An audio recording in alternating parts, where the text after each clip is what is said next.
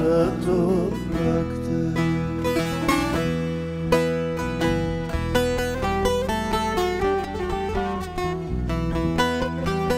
Bursa Büyükşehir Belediyesi tarafından düzenlenen Aşık Veysel'in 50. yılı anma konserinde müzisyen Yavuz Bingöl de sevenleriyle buluştu.